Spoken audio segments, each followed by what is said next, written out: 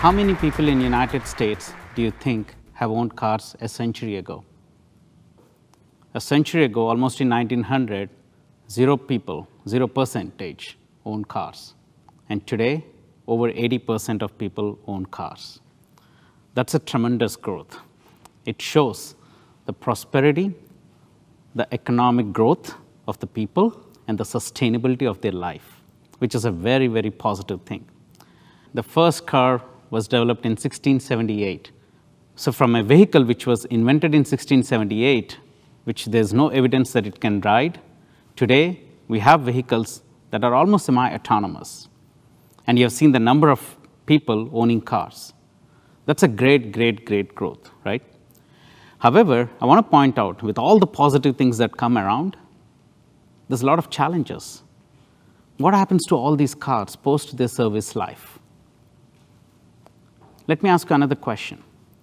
What percentage of your car you think gets back into the system? The right answer is almost 80%. There's no regulation. That's the main thing. In Europe, there's a mandate that 95% of your vehicle has to be recycled.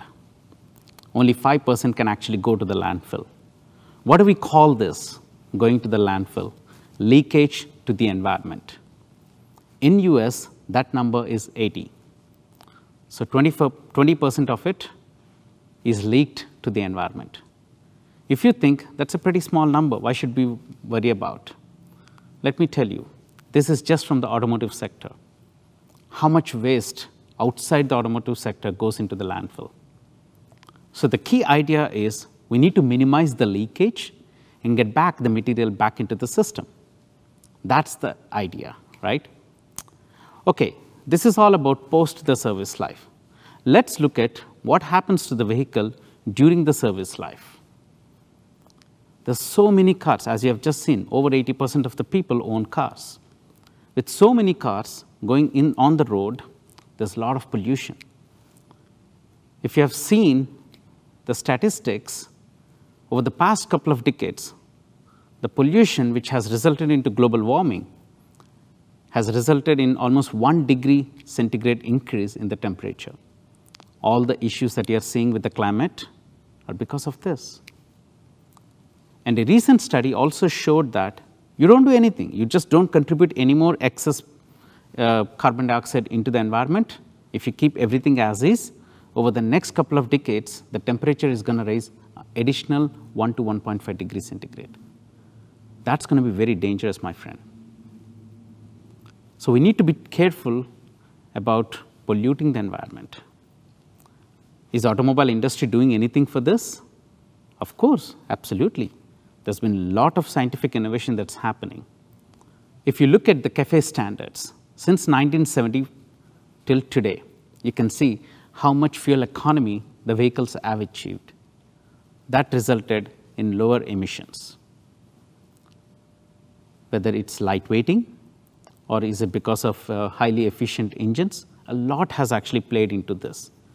But can you believe only 25% of a vehicle's energy goes into actually driving the vehicle. 75% of that actually goes as a waste. So the impact that we are seeing right now, it's not big. So what has actually industry done for this? It's actually looking into electric cars. And this particular electric car was not even powered through electricity. In a sense, electricity charging the batteries. It's basically the steam that was driving this vehicle. So it's an environmentally friendly vehicle, but was, that was charged or powered by steam. So looking at the in-service life of the vehicle, electric cars are a great invention because during the service life, they have zero emission compared to the IC engines, cars, right? That's basically the key thing which has been propelling this entire electric car industry, which is absolutely correct. During the entire service life, they have zero emission. But the challenge comes is when you look at the batteries, you need to power them. How do you power them? You charge using electricity. And electricity, how is it generated? There are three main sources, hydro, nuclear, and coal. Can you guess what proportion of US electricity is actually generated through fossil fuels? it's 60%, over 60%. So that means a location wherever the electric power generation facility is, there's a lot of pollution and emissions over there. So if you're just thinking about using fossil fuels to propel your vehicle from one place to the other, think about the electricity that's using a lot of fossil fuels to generate it, which is what you're using to charge your battery. So forget about looking into silos that an electric car is environmentally friendly just because it doesn't give you an emission. If you actually put together the whole context, the life cycle of the electric car, when you take in the raw material extraction all the way everything together, all that you are saving is just 5 tonnage of carbon dioxide. And do you know how much one tonnage of carbon dioxide costs? Roughly around $40.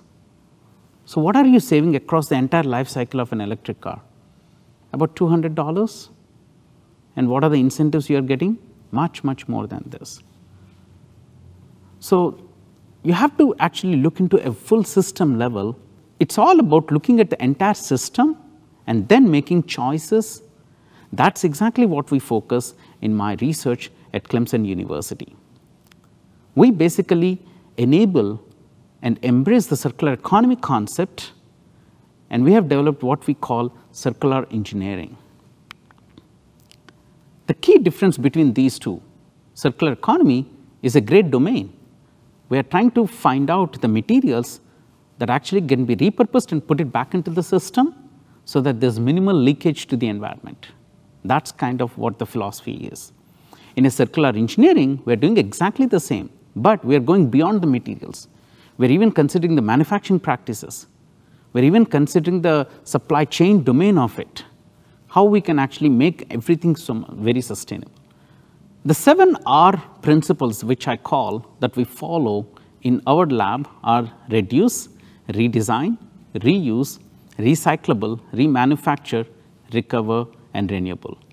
And we just don't look at purely materials aspect of it, but we go all the way from design, virtual validation, prototyping, experimental validation, looking at the entire life cycle of a product development. So when you look at the circular engineering aspect of it and couple that with the product development, a circular product development approach where you embrace all of these different domains, that's exactly what we focus upon. Let me explain you this with an example of an impactful project that we are doing within the automotive industry. This project, which focuses on creating an ultra lightweight composites door.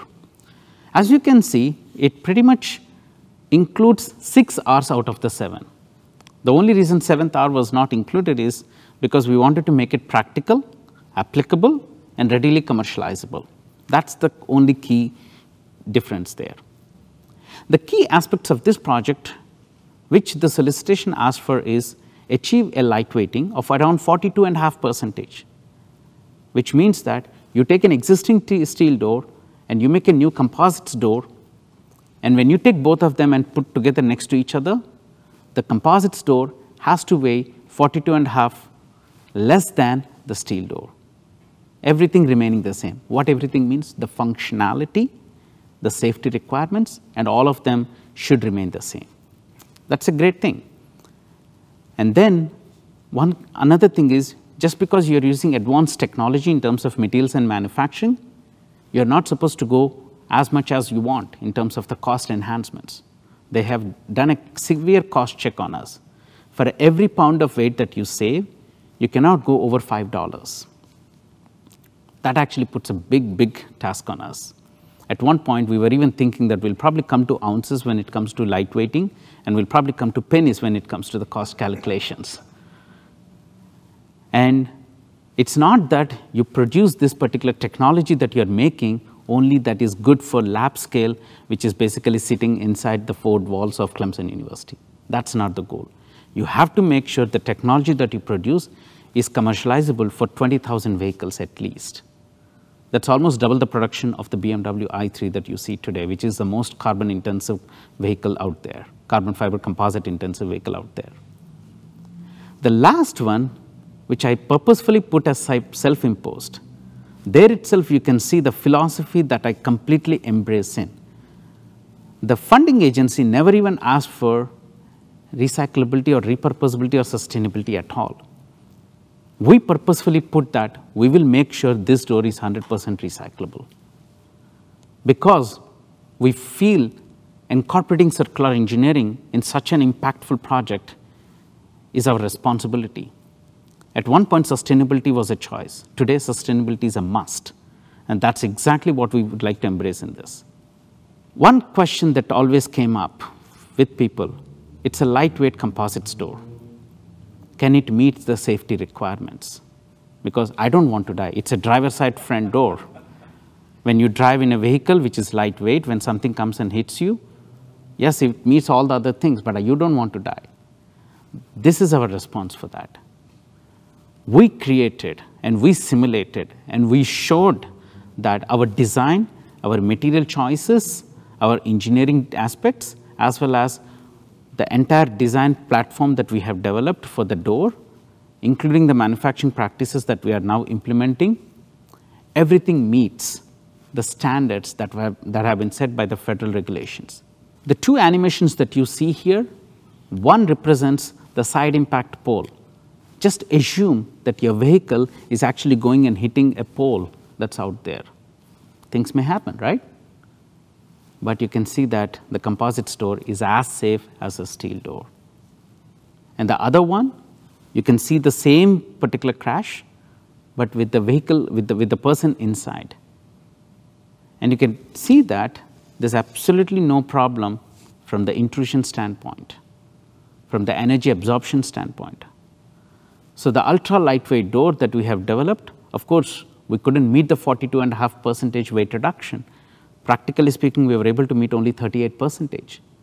However, at a 38 percent reduction, we were able to demonstrate that you can make a composites lightweight door that can meet all the performance metrics. By providing 38 percent lightweight technology for a door, and if you are multiply that for four doors and expand that for the whole vehicle, think about how much lightweighting you are actually doing and by doing this lightweighting, how many emissions of, or how much carbon dioxide tonnage you are actually reducing during the service life of the vehicle. And this door and the technology is completely re recyclable. So post the service life, think about the materials coming back into the system, no leakage to the environment. That's the idea we would like to embrace on. Coming to the materials domain, as I said, zero leakage to the environment. That's the philosophy that we follow. That's the vision that we have. With such a vision, I want to say that we started now making new material systems which are recyclable by design. So how are we doing this? We are purposefully creating molecular zippers. So you probably know about molecules, you know about zip, right? You basically, every pant has a zip. So what do you do? You unzip, you zip, you unzip, you zip. Exactly the same philosophy if you put that in a plastic. When you zip it, you use it. When you unzip it, you basically recycle it. That is why we are calling this as molecular zippers. And so we are creating these molecular zippers and putting them in conventional plastics so that once the plastics are out of their service life, you can recycle them 100 percent. So our research doesn't stop simply about uh, at creating molecular zippers. In addition to that, what we also try to do is embrace the renewability. Remember the seven R's. Recycling is just one, reusing is just one, remanufacturing is just one. But when you combine all of this, and we would also like to add on renewability on the top of it. So the polymers, the precursors, the zippers, everything that we create are actually from natural resources. And what are these resources? These are the biomass, which is again available abundantly. One philosophy, additional philosophy that we also follow is we absolutely don't use any food derived systems because our definition of sustainability is not to snatch away the food resource of the current generation to provide a sustainable resource for a future generation. That's not sustainability.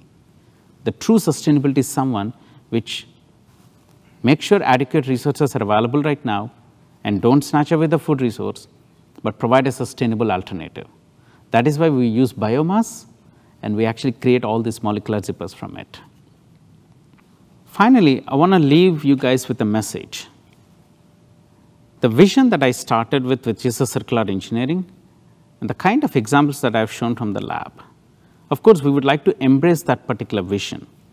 Because once Mahatma Gandhi said, hesitating to act because the whole vision might not be achieved or because others do not share it yet is an attitude that only hinders progress.